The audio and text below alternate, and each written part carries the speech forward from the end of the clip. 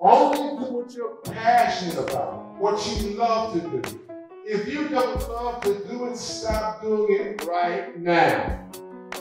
Period. Don't waste your time.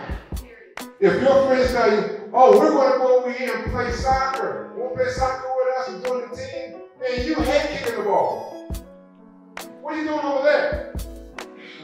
If you're not passionate about what you're doing, I urge you to stop.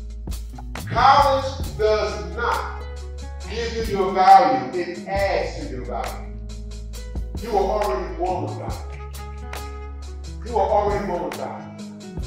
Understand? So no one has to tell you, oh, you need this, you need that. Yeah, you need it, but it's going to add to what you already have. You need to make that decision because that's where you want to be. Mom can't go and take those courses for you. You have to focus on being the best you that you can be. How many of you on Instagram? How many of you on Facebook? How many of you on Twitter, right?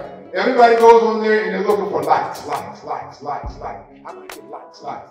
Because they want validation. You can give yourself your own validation. Every morning, when you get up, look in that mirror. Every morning. 350 likes. I like myself. I like myself. I like myself. That's how you get it.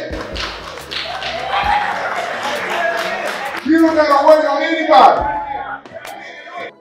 Be you, because everyone else is taken. Thank you.